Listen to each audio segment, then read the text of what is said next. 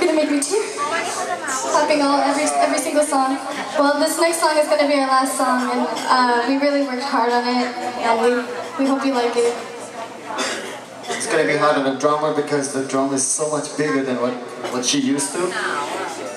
Well, thank you so much and just uh, sit back, relax, and bear with us.